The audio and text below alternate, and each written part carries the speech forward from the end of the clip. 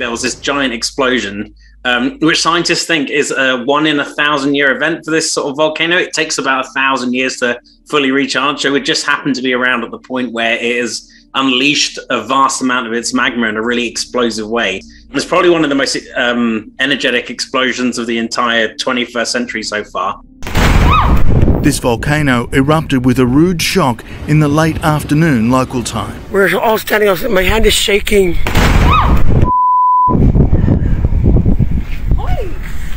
What are we gonna do? Can you guys hear that? It keeps it keeps bursting. Hey, okay. See that? You guys see the smoke coming up? Massive. Ew, the volcano.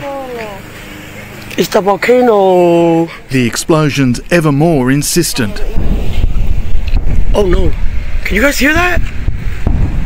Oh my gosh. Man, it's loud. It's shaking the island. Look at all that. That's all from the volcano. There it goes.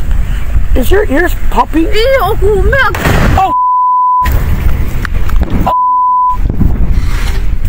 oh.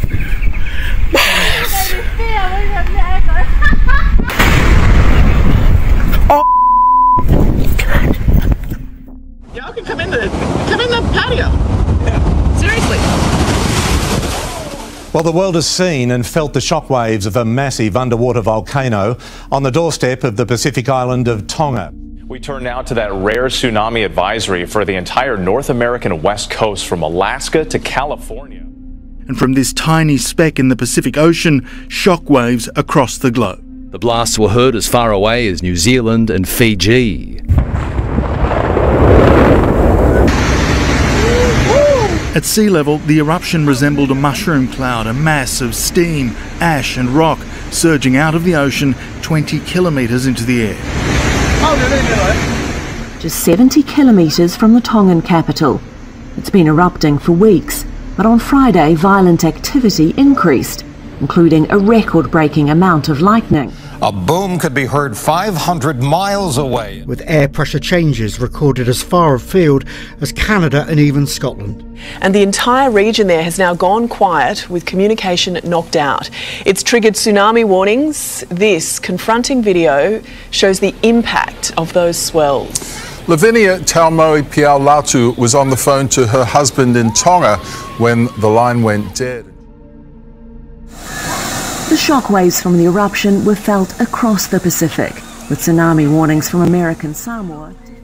But this type of event in this region is a massive, a massive surprise. Seismologist Dr. Lucy Jones telling us this is the largest tsunami from a volcano she has seen in her decades long career. The tsunami affected millions. The South Pacific Islands, New Zealand, Japan, racing past Hawaii to pound Canada, the US West Coast, Oh my god! and pushing thousands of kilometres south to Chile.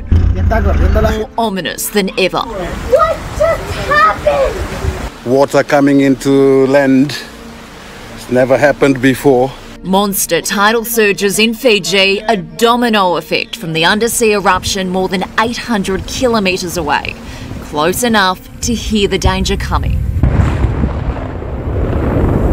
Yeah, like boom and boom, and the people are assuming that it's like a, a warship going on. Australians holidaying in Suva also feeling the threat. We just kept on hearing just massive boom noises in, in the clouds. When yesterday's volcano erupted near the island nation, turning the sky black, the reports from family and friends were terrifying. When you see the video from Tonga of the actual eruption, it is like world ending, terrifying stuff. On Tonga, it sounded as bad as it looked. Oh, Holy sh! Deafening, and for those by the water, it could only mean one thing run. Oh, This is why. A tsunami generated by an underwater volcanic shockwave. The images posted on Facebook show people being driven from their homes. But then, after a few hours, everything went blank. So far, there have been no reports of deaths or injuries in Tonga, but this was seven times more powerful than the eruption on December 20 last year. It has been active for years, but an explosion of this scale only happens here once every thousand years. In Peru, tsunami waves crashed through a market, washing away stalls and goods, sending panicked shoppers running in fear of what might come next. Tsunami sirens were heard in Ecuador. With good reason, fishing boats at sea riding rolling tsunami waves. In Chile, too, sirens blared as swimmers left the beach because of a strong surge of impact stretched to New Zealand, Ecuador, Peru, and Chile. The Bureau of Meteorology says those shockwaves travelled at more than 1,000 kilometres an hour, reaching almost 7,000 kilometres to Perth, with the sonic boom heard in Alaska, almost 10,000 kilometres away. New Zealand too saw the effects of the waves, the water tossing boats as if they were toys in this marina. Some fishermen said they had to run for their lives. In Santa Cruz, California, the rising tide caused minor flooding. And although that's more than 5,000 miles away, Santa Cruz was hit hard. Look at the tables right there. Woo. Wild waves shoved tables, chairs, and heat lamps on the deck of Zelda's, a beachfront restaurant in Capitola. This surveillance video capturing the massive tide around 9 a.m. Saturday. Oh man, look at that. Startled locals rushed to find higher ground as water crashed its way through. A river flooding streets and buildings, including this church. Some were caught out by the rising tide.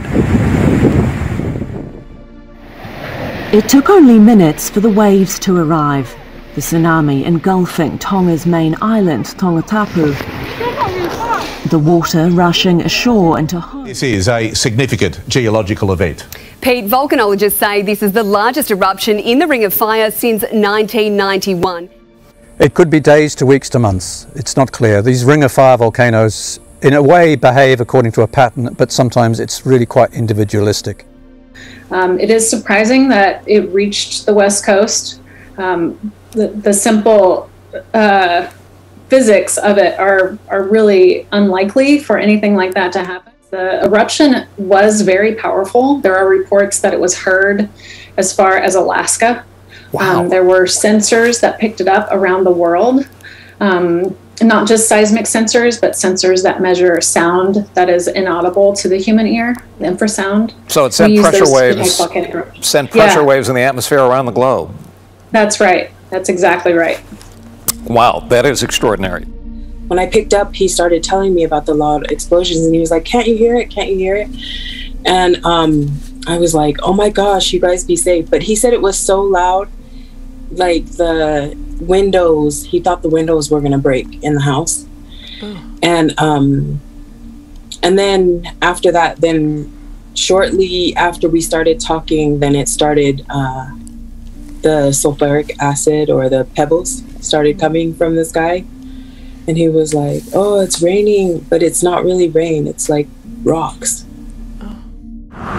The beauty of Mother Nature and, and everything she gives us. And then there's always there's the other side of her too, you know. Mother Nature, of course, being wild in nature. Obviously, you can see the ocean right